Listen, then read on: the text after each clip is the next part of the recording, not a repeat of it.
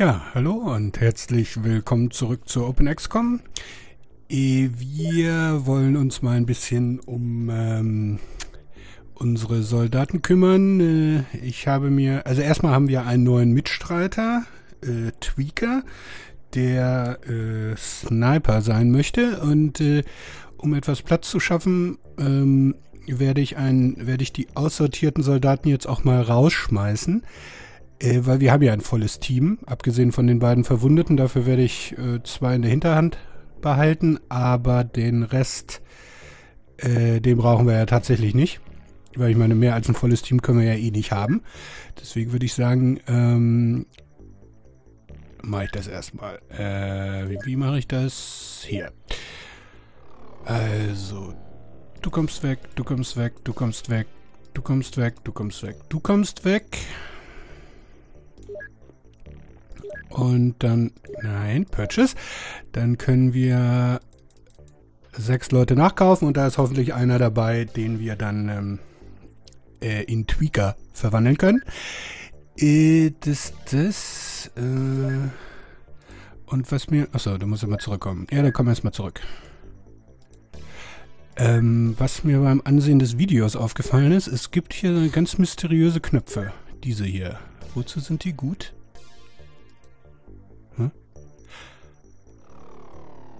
Ah. Aha. Damit verändern... Ja, damit verändern wir die Position im Sky Ranger. Vermute ich mal, weil die Position dieser Liste ist ja völlig unerheblich. Und warte mal, kommt... Ja, ihr beide standet vorne letztes Mal. Okay, man kann also die ähm, Undocumented Feature, würde ich das mal nennen, äh, zumindest war es mir nicht bekannt. Äh, man kann tatsächlich die Soldaten im Sky Ranger positionieren, wie man es möchte, indem man sie hier äh, in die richtige Reihenfolge bringt. Also das hier ist vorne. Das ist die erste Reihe, also am Ausgang. Ah, very nice.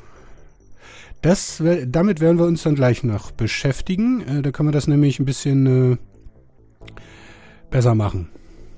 Hm, Dass wir tatsächlich unsere Scouts vorne haben. Und gleich noch was anderes, was ich machen wollte. Nee.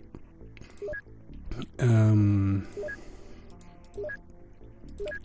allerdings nur temporär, aber zumindest erstmal temporär, ähm, werde ich äh, euch ähm, Namenszusätze geben, damit ich weiß, welchen Job ihr habt im Team. Äh, weil das, äh, ich weiß es, also ich habe es noch nicht im Kopf, wer sozusagen Scout ist und wer hohe Reaktionen hat, etc. pp. Ähm, und da will ich dann nicht immer auf den Stat-Screen gucken muss, will ich das jetzt mal ähm, auf diese Weise machen. Ähm, du bist Scout. Du bist Sniper. Du bist Heavy Weapons. Du bist Sniper. Du bist nichts Besonderes. Äh, also, also, ne, bitte nicht falsch verstehen. also, ähm, Theo ein bisschen für, also, naja, für Scouting haben wir bessere, deswegen würde ich dich nicht, würde ich zum Scouten eher andere nehmen. Äh, Sniper eignest du dich nicht, im Moment noch nicht. Du kannst ziemlich gut werfen, was allerdings wir nicht unbedingt brauchen, deswegen gebe ich dir keinen besonderen Zusatz. Du könntest äh, 57. Ja. Okay, du hast auch keine besonderen Sachen. Du kannst auch Scout sein. Und bist auch Sniper, aber ähm, Sniper will ich für die reservieren, die ähm, quasi nicht unbedingt äh, das Scouting erledigen sollten, wegen ihrer nicht so hohen Reaktionen. Also mit anderen Worten, alles, was hohe Reaktionen hat, wird Scout, ob sinnvoll oder nicht, aber dass ich zumindest weiß, wen ich auf diese Weise benutzen kann. Du bist erst Sniper. Ups. So. Äh, bist auch eher alles. Das hätte ich vorhin schon sagen sollen, Baxerado. Ähm, du bist alles. äh, ne? keine besonderen, besonders herausragenden Fertigkeiten. Äh, du bist sowieso raus. Dann machen wir mal ein kleines X draus, damit ich das später nicht mit dem zehnten Klon verwechsle. Wo wir hoffentlich nicht hinkommen werden, aber man weiß es ja nie. Äh, du bist auch... Bist auch alles.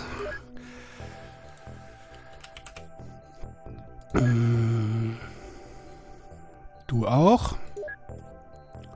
Okay. Gut, also das, ähm, das werde ich wieder rausnehmen, wenn ich mir das ungefähr gemerkt habe, wer äh, was kann. Aber ich hoffe, es stört nicht zu sehr.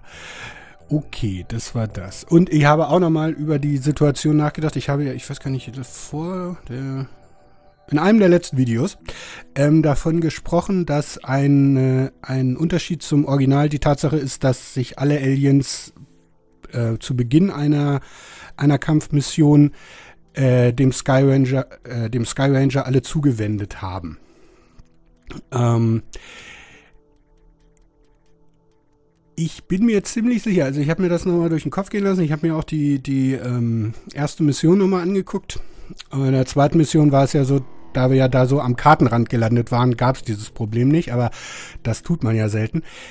Ich denke, das wird einen äh, nicht unerheblichen Faktor ausmachen. Ich habe mir überlegt, was ich mal ausprobieren will. Ähm,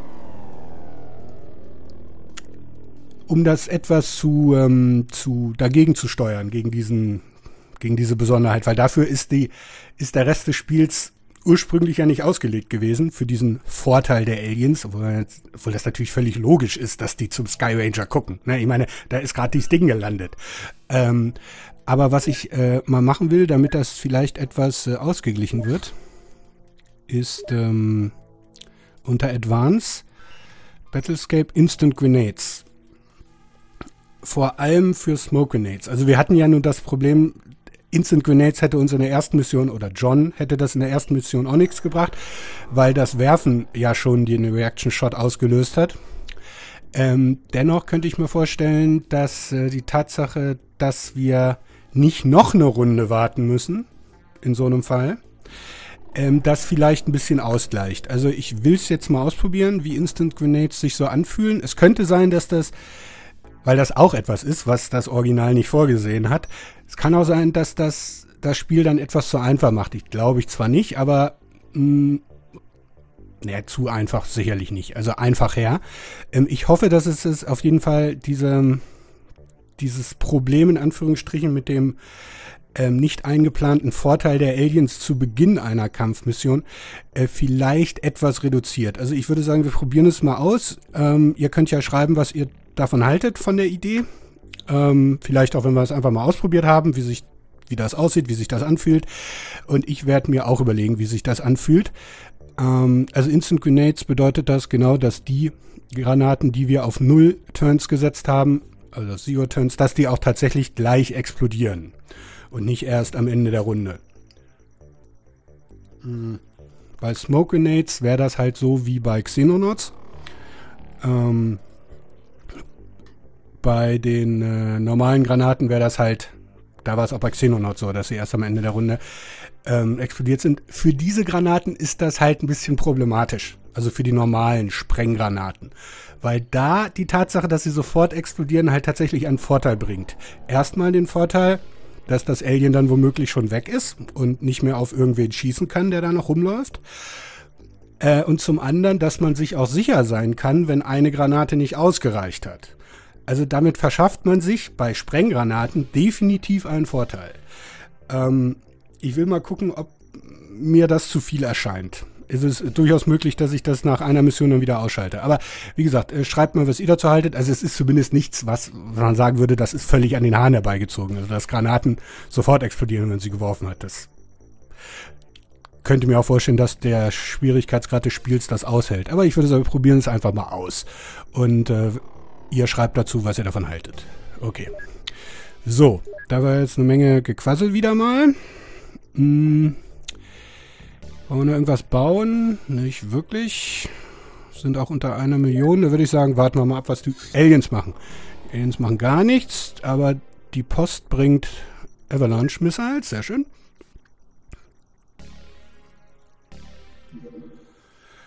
Und unsere Wissenschaftler haben die Laserpistol erforscht. Laser pistol is an effective implementation of new technology. It has the convenience of a pistol with faster and more accurate firing. Ja? Hm. Und vor allem mit keiner Munition. Und das ist also auch eine, eine also eine Science-Fiction-Laserpistol, keine reale Laserwaffe. Also wir machen damit tatsächlich Schaden. Und zwar, wir sehen 46. Äh, das ist so viel wie eine Autocannon. Mehr als eine Autocannon macht. Und auch mehr als 50% mehr als ein Rifle macht. Also das ist auf jeden Fall die Waffe der Wahl jetzt. Hm.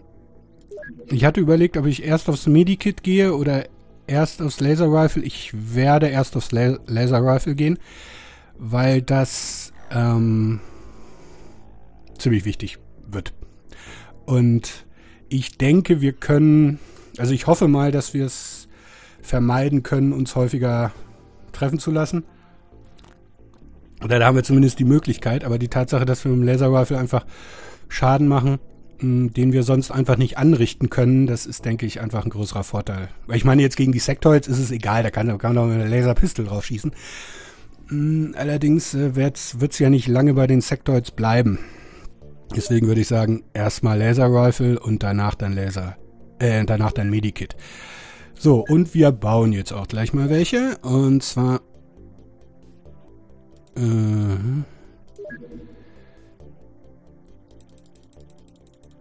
eine volle Ladung für was ist das? Monthly Profit? Ah, wenn, ah, okay. Hier, können wir das dann, ach, können wir direkt produzieren und gleich automatisch verkaufen? Okay, also das ist dafür da, wenn man Sachen nicht für den Einsatz produzieren will, sondern ähm, für, für Profit. Also wenn man Geld verdienen will damit, was man in diesem Spiel nie muss. Aber da die Ingenieure ja häufig nichts zu tun haben, kann man auf diese Weise halt immer noch ein bisschen Geld produzieren. Das, äh, ich glaube, das profitabelste sind Laser Cannons, wenn ich mich recht entsinne. Ähm, das sieht man hier dann gleich. Wir wollen allerdings nichts verkaufen. Wir wollen das für uns, für den Einsatz äh, benutzen. Das heißt, ja, kostet halt 112.000. Naja. 17 Tage, gut, das wird eine Weile dauern. Unsere Soldaten sind da, sehr schön. Dann wollen wir mal schauen. Erstmal also mal wieder Fleischbeschau. Wir haben hier, ja, nicht schlecht. Können wir behalten. Der ist sehr gut. Maximale Reaction, ziemlich gute Firing Accuracy. Ich würde sagen, Tweaker, hier haben wir jemanden für dich. Ähm, du wolltest Sniper sein? Ja, du bist halt ein Sniper mit sehr guten Reaktionen, das schadet nicht. Okay, du bist raus. Du bist auch nicht schlecht. Dich heben wir auch auf. Also du bist raus. Ja, da kannst du eigentlich auch raus. Wir sammeln jetzt auch einfach ähm, schon mal für möglicherweise zukünftige Todesfälle äh, schon vorab schon mal Fleischhüllen sozusagen, in die wir dann ähm, zu klonende Soldaten stecken können. Äh, also den behalten wir, den dich werden wir, dich machen wir zu Tweaker. War's doch, glaube ich. Und du wolltest Sniper sein oder sowas in der Art. Okay. So, euch können wir dann rausschmeißen. Kann ich euch eins. Wie viel haben wir dann? Eins, zwei. Ja, das passt.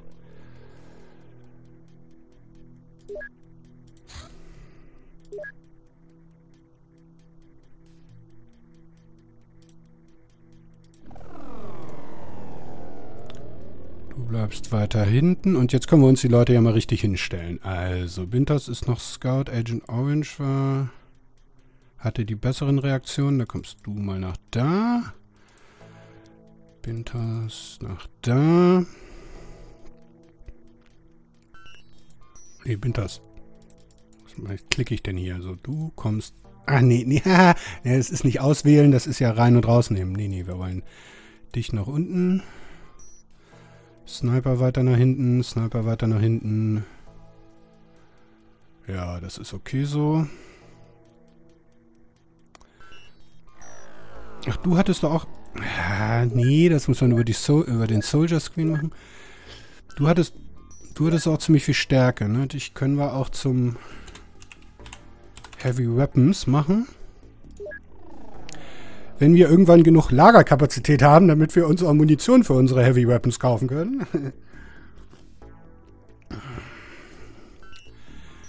Aber dazu müssen wir leider noch warten. So, und dann können wir die anderen jetzt einfach mal, die überzähligen Xe einfach mal rausschmeißen.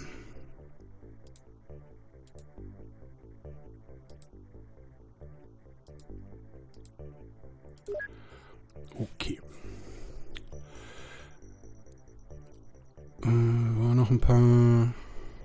Was haben wir denn? 15 Soldaten. Es sind... Wir haben... Also von Abonnenten haben wir ein Elfer-Team. Also denke ich mal, werden wir auch erstmal mit einem Elfer-Team spielen. Und dann haben wir also vier auf äh, in Reserve. Gut, da würde ich sagen, dann können wir noch fünf äh, Engineers kaufen.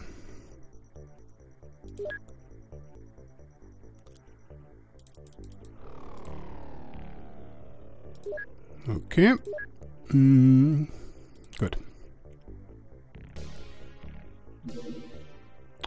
Okay.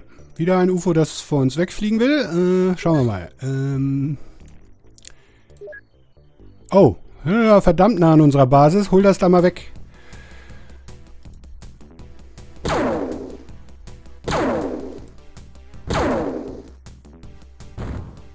Sehr gut, mit dem letzten Schuss getroffen. Und abgestürzt, sehr gut. Dann warten wir mal, bis es Tag wird. Okay. I checken wir unser... Ja, mehr als eine wird es leider nicht, aber immerhin haben wir eine Laserpistole dabei. Allerdings haben wir auch nichts, wir haben keine Raketen mehr. Das heißt, wir haben aber auch den Soldaten, der die Raketen benutzt hat, nicht mehr. Äh, wie lange seid ihr noch wounded? Acht Tage, sechs Tage. Okay, gut, dann rüsten wir jetzt mal unseren Skyranger aus. Also. Wir haben elf Leute, das ist okay. Die beiden, das lasse ich erstmal, die beiden überzähligen lasse ich hier.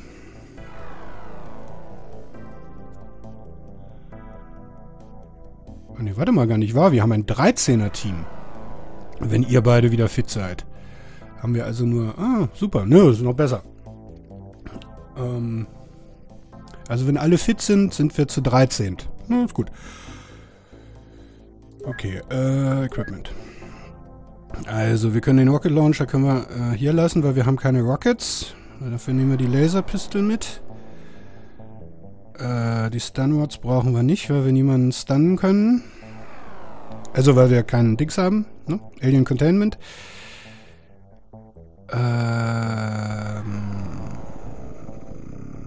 wir haben elf Soldaten. Acht. Wir haben drei Heavy Cannons.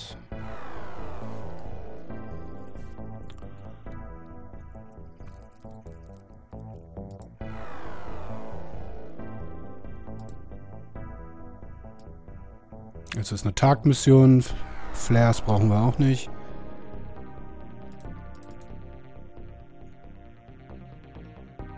Mhm. 10, 11. Und derjenige mit der Laserpistole, der kann auch eine zusätzliche Granate. Achso, okay. Gut. Äh, so, dann intercepten wir das mal.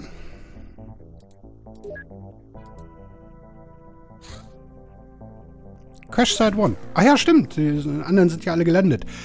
Uh, exercise caution. There may be operatives in the UFO or around the crash site. Ja, wir. Oder, ja, die meinen die Aliens, egal. Alien operatives. Uh, mission will be successful when all enemy units have been eliminated. Ja, ja. Mm, gut. So, achso, ich habe auch die, ähm, ne, am Anfang wieder die ganzen Sachen vergessen. Ähm, zum Vergleich mit der vorigen Mission habe ich diesmal den Zoom-Faktor äh, so gewählt, wie wir es ganz am Anfang hatten. Also dieses etwas rausgezoomte, also höhere Auflösung. Ähm, wollen wir uns mal angucken, wie das bei Tag aussieht. Ähm, aber vorher wollen wir mal unsere Kollegen hier ausrüsten. Ähm,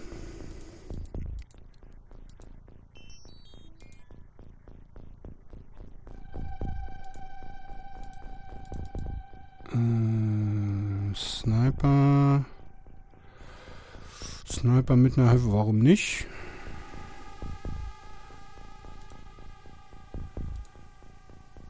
Äh, du. Du snipest auch mit dem Ding und zusätzlich noch sowas dabei, was du nicht mehr tragen kannst. Ja, machen wir das so, dann kriegst du ein bisschen Stärke dazu. Und ich würde sagen, Zuran ist unser ja, höchster Rang ist es nicht. Das ist, wer ist denn der höchste Rang hier? Atantu, du bist Sniper. Nee. Ich wollte gerade sagen, der höchste Rang hat sich die beste Waffe verdient, aber ähm, als Sniper mit einer Pistole, das wirkt irgendwie ein bisschen komisch. Deswegen gehen wir Zurandi. Du bist ja auch der Erste, der äh, rausmarschiert. Da ist das vielleicht gar nicht schlecht. Ähm, dann kannst du noch eine zweite Smoke Grenade vertragen. Das brauchst du nicht mehr. Okay. Okay.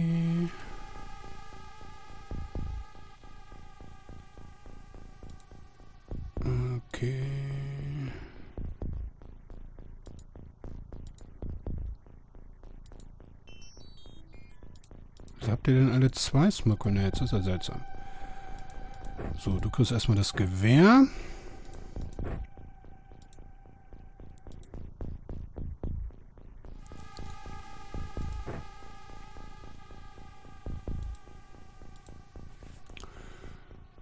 Wer ist denn noch vorne? Agent Orange, du kriegst auch eine zweite Smoke Grenade, die du nicht mehr tragen kannst. Es so. Und Scout sollte sich schon vollständig weit bewegen können. Das wird sonst doof.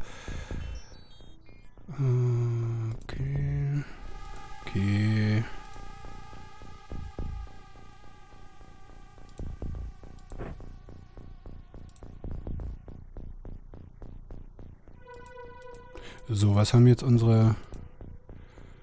Du bist der Sniper, das heißt, du schießt ohne Hoch äh, High Explosives, obwohl du eigentlich Wer sagt denn, dass man nicht mit äh, explosiver Munition snipen kann? Ähm, und der andere...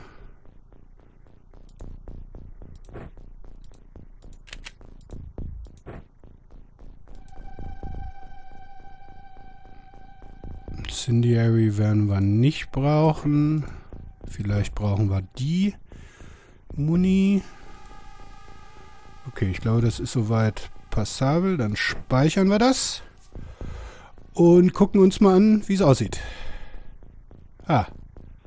Wir sehen gleich ein Alien. Oh, das ist Mountain Terrain. Das ist ein verdammt seltenes Terrain. Und das ist ein äh, Large Scout. Gucke an. Hm, sehr schön. Ähm, ja, also da ist ein Alien, ne? Ja. Okay, da würde ich sagen, äh, wie üblich, äh, Beginn des Kampfes ein Safe Game. Und dann werden wir beim nächsten Mal hier äh, anfangen und dann auch beurteilen können, ob dieser Zoom-Faktor passabel ist. Also im Hellen sieht es auf jeden Fall schon mal besser aus als im Dunkeln. Und wir werden auch schön darauf achten, ähm, wie das mit den Granaten sich anfühlt. Ja, da würde ich sagen, sehen wir uns hier beim nächsten Mal wieder mit... Äh und guckt das Alien... Ah, Okay. Das guckt nicht zum Sky Ranger.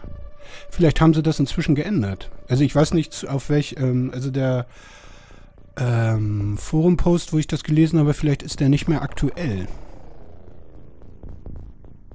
Hm.